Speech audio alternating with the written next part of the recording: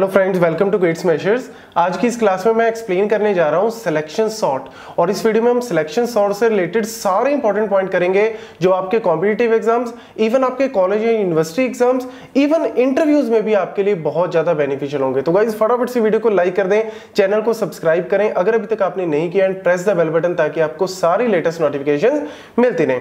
तो selection sort से चाहे हम बेस्ट केस की बात करें वर्स्ट केस की stability in place each and every point जो है वो हम एक एक करके डिस्कस करेंगे। चलिए। सबसे पहले यहाँ पे आता है सिलेक्शन सॉर्ट का, ये मेरे पास यहाँ पे एल्गोरिदम है और ये सूडो कोड है। पहले मैं आपको साथ साथ एग्जांपल के तौर पे बताता हूँ कि लेट से मुझे कोई एरे दिया हुआ है रैंडमली एलिमेंट्स उसमें पड़े हैं। सिलेक्शन सॉर्ट का सिंपल सा प्रोसीजर है। वो क्या करता है कि जो सबसे मिनिमम एलिमेंट है ना, उसको पहली पोजिशन पे लेके आता है। इसको बोलते हैं एक पास एक टर्न में। एक टर्न में क्या करता है? वो सबसे पहले एलिमेंट को मतलब सबसे मिनिमम एलिमेंट को पहले पोजिशन पे ले आता है। दूसरे पास में क्या करता है? जो सेकंड मिनिमम है, उसको सेकेंड पे। तीसरे पास में थर्ड को थर्ड पे इस तरीके से वो सेंडिंग ऑर्डर में क्या करता रहता है? सॉर्ट करता रहता है। तो देखो, यहाँ पे हम स्टार्ट करते हैं। लेट से ये मेरे को एरे दिया हुआ है 40 20 ये सारे मेरे पास एलिमेंट्स हैं। I is equal to one to N minus one I मेरा जो है वो इस पोजीशन पे है। I is equal to one to N minus one यहाँ तक चलेगा। क्यों? क्योंकि अगर n minus one element sort हो गए तो लास्ट वाला तो ऑटोमेटिकली सॉर्ट ही हो जाएगा। अब यहाँ पे min is equal to I सबसे पहले हमने क्या करना है? हमने यहाँ पे वेरिएबल ले लिया min और उसमें क्या डाल दिया? आई मतलब कहने का, ये देखो ए ऑफ़ आई की वैल्यू हमने कहाँ डाल दी? ए ऑफ़ आई की वैल्यू हमने, आप एक्स ले लो, कोई भी ले लो, हमने सिंपली मिन ले लिया और उसमें हमने 40 डाल दिया। मतलब मैंने मान लिया कि मेरा मिनिमम मिनिमम एलिमेंट कौन सा है? 40 पहले एलिमेंट को मिनिमम बना लिया। अब आई की जो वैल्यू है, वहीं से हमने जे स्टार्ट कर दिया मतलब जे भी यहीं पे पॉइंट कर रहा है।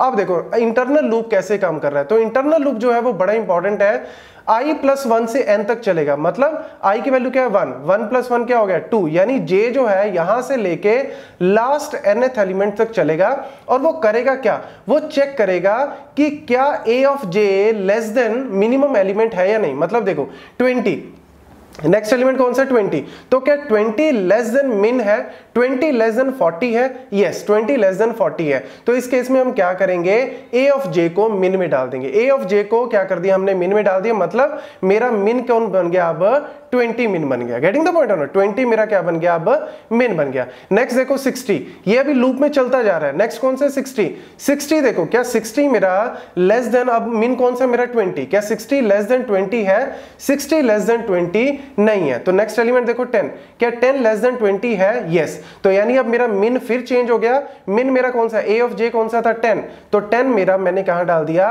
X में डाल दिया। मतलब मिन में डाल दिया। तो मेरा मिन क्या था? 20 अब क्या हो गया? 10 नेक्स्ट 50 क्या 50 लेस देन 10 है? नहीं। 30 लेस देन 10 है? नहीं। तो यानी ये पूरा आई ये पूरा का पूरा यहाँ तक चल गया। ये हमने पूरा का पूरा यहाँ तक चलाया। इसमें जो ये पूरा लूप इंटरनली चलाया ना आई आई प्लस वन से लेके एन तक, उसमें हमने किया क्या? पूरे एरे में सबसे मिनिमम एलिमेंट को फाइंड आउट कर दिया और उसको रिप्लेस कर दिया मिन से। अब करना क्या है? अब सिंपली लास्ट में आपको स्वैप करना है। क्या स्वैप करना है कि आपने सबसे पहले आई की वैल्यू क्या ली थी? वन ली थी। तो इस पोजीशन को मतलब इस पोजीशन पे आप क्या डाल दो? मिनिमम एलिमेंट कौन सा मिनिमम एलिमेंट टेन तो टेन आप यहाँ पे डाल दो और फोर्टी कहाँ चला जाएगा? इस पोजीशन पे। 40 कहाँ चला गया? 10 वाली पोजीशन पे स्वैप कर दिया और 10 कहाँ चला गया? फ़र्स्ट पोजीशन पे आ गया। इसको बोलते हैं फ़र्स्ट पास तो यानी फ़र्स्ट पास में आपका सबसे मिनिमम एलिमेंट जो है ना, वो आपका पहली पोजीशन पे पहुँच गया। तो यानी अब एरे किस तरीके से दिखेगा? एरे आपका बन गया यानी 10 20 60 40 50 30 ये बोलते हैं फ़र्स्ट पास फ़र्स्ट पास के बाद ये आपका आंसर आ गया। अब देखो i is equal to one वाली तो होगी। अब i is equal to two से स्टार्ट करेंगे। अब टू टू से लेके एन माइनस वन मतलब अब यहाँ पे मेरा आई आ गया और मिन में मैंने क्या डाल दिया? मिन में मैंने 20 डाल दिया। अब देखो next element 20 greater than sixty greater than 20 है? नहीं। Next 40 greater than no 50 greater than no 30 greater than no तो यानी अब मेरा यहाँ पे ये देखो index of minimum not equal to one but index of minimum तो मेरा यहाँ पे इक्वलिटी है। जो मेरा हमने लिया था आई की वैल्यू वही मेरा यहाँ पे मिनिमम आ रहा है। तो इस केस में आपको कोई स्वैप करने की ज़रूरत ही नहीं है। मतलब 20 अपनी राइट पोजीशन पे है। फिर आपने ऐसे ही क्या करना है? नेक्स्ट एलिमेंट 60 आ गया। तो यानी सेकंड पास के बाद ये पोजिशन सेम ही रहेगी। अरे आपका सेम रहेगा। थर्ड पास में क्या होगा? आपने अब जो है आई की वैल्यू यहाँ से स्टार्ट की। मिन में आपने क्या डाल दिया? सिक्सटी डाल दिया। तो नेक्स्ट एलिमेंट देखो 40 लेस है तो मीन आपका चेंज हो गया 40 नेक्स्ट देखो 50 है तो मीन आपका चेंज हो गया 50 नेक्स्ट है 30 तो मीन आपका क्या हो गया? 30 गेटिंग द पॉइंट मीन आपका क्या हो गया? 30 अब सारा आपने nth एलिमेंट तक चेक कर लिया। अब आपको क्या करना है? अगेन आपको स्वैप करना है। मतलब ये जो 30 वाली पोजीशन पे 60 चला जाएगा और 60 वाली पोजीशन पे 30 आ गया।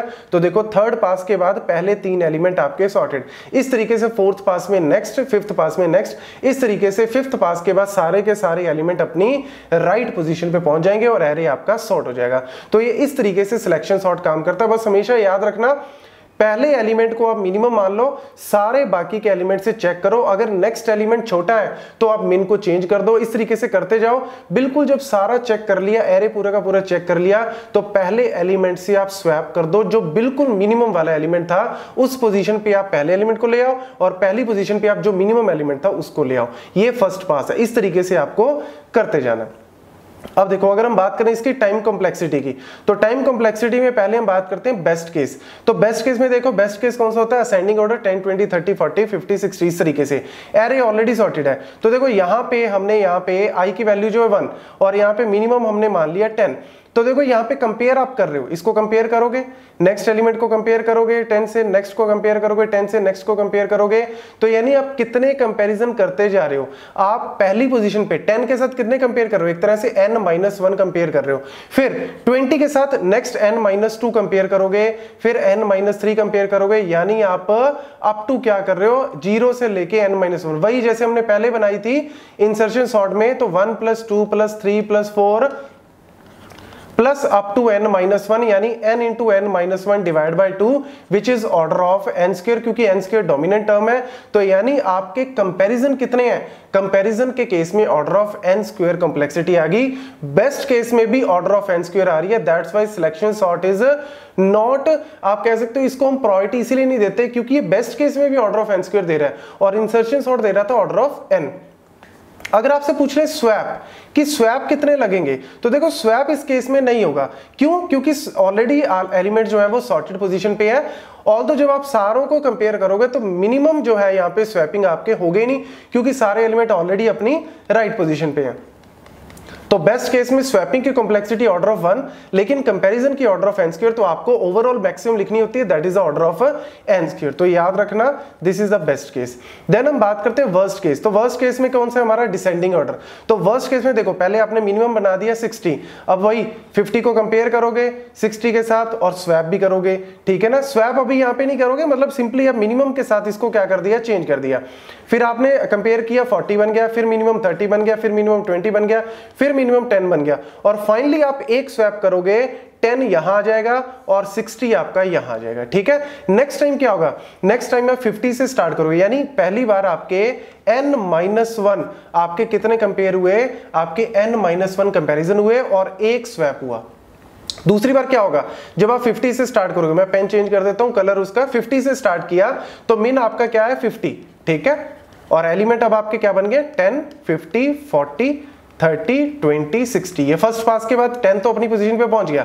अब आपने मिन में क्या डाल दिया? 50 अब नेक्स्ट एलिमेंट कौन सा? 40 फिर 30 फिर 20 और 60 तो यानी आपका जो मिनिमम क्या बन गया? 20 अब आप क्या करोगे? 20 को यहाँ पे डालोगे और 50 को यहाँ पे। यानी अगेन स्वैप कितना हुआ आपका? एक। और आपके जो कंपैरिजन कितने हुए? n माइनस टू यानी फिर वही बन गया एन माइनस वन पहले कंपेरिजन फिर एन माइनस टू फिर N minus three N minus four up zero तो यानी आपका N into N minus one divide by two which is order of N square time complexity क्योंकि comparison N square है। और swap की बात करें तो हर बार, हर पास में आप एक एक स्वैप कर रहे हो। जैसे हमने पहले पास में 60 को 10 से किया था, दूसरे में 50 को 20 से किया था तो यानी ऑर्डर ऑफ़ एन आपकी swapping complexity order of N square आपकी कंपेरिजन तो दोनों में से बड़ी वैल्यू कौन सी एन स्क्वेयर तो यानी वर्स्ट केस में ऑर्डर ऑफ़ एन स्क्वेयर तो अगर हम बात करें तीनों केस की तो वर्स्ट केस में ये देखो मैंने आपको प्रूफ करके दिखाया N square order of N swap best case में एन स्क्वेयर कॉम्प्लेक्सिटी है, लेकिन स्वैप ऑर्डर ऑफ़ वन है, लेकिन आपको एन स्क्र ही लिखनी है जब भी आपको पूछें। और ऐसी एवरेज केस बात करें तो एवरेज केस और वर्स्ट केस में सेम ही सिनेरियो है। और नेक्स्ट यहाँ पे पूछ लेते हैं कि क्या ये इन प्लेस है?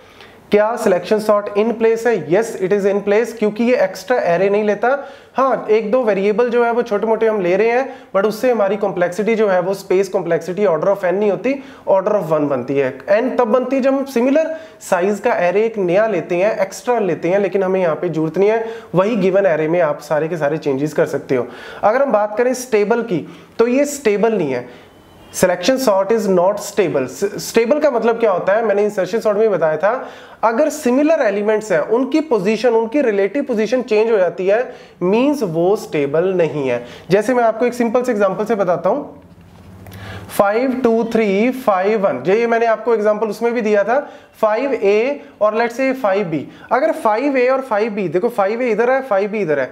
कि अगर ये चेंज हो जाते हैं ना फाइव बी इधर आ जाए फाइव ए मतलब सेम एलिमेंट डिस्टिंक्ट की बात नहीं कर रहा मैं नॉन डिस्टिंक्ट एलिमेंट मतलब आपके जो यहाँ पे सिमिलर एलिमेंट की अगर पोजीशन चेंज हो जाती है मींस इसको हम बोलते हैं अनस्टेबल तो यहाँ पे देखो फाइव ए आपने लिया, इसको आप कंपेयर करोगे टू से तो टू मिनिमम बन जाएगा। पहले आपने मिनिमम में क्या डाल दिया? फाइव ए फिर आपने टू बन जाएगा, फिर थ्री बन जाएगा, फिर फाइव बी बन जाएगा, फिर वन बन जाएगा। तो आप क्या करोगे? वन को यहाँ ले आओगे और फाइव बी फाइव ए को यहाँ ले आओगे। तो देखो क्या बना? वन को आप पहली पोजीशन पे ले आए और फाइव ए को यहाँ ले आए। तो देखो फाइव बी आपका अब लेफ़्ट में हो गया फाइव ए राइट में हो गया। पहले जब आपने स्टार्ट किया तो फाइव ए लेफ़्ट में था। तो अगर रिलेटिव ऑर्डर चेंज हो रहा है मीन्स इट इज़ अनस्टेबल तो अगर आपको एग्ज़ाम में कहीं भी पूछ ले, आप इसको बोलोगे it is a it is not a stable it is not stable algorithm हाँ इसको स्टेबल कर सकते हैं कोड में आप चेंज कर सकते हो but by default it is not a stable algorithm but yet yes it is a in place thank you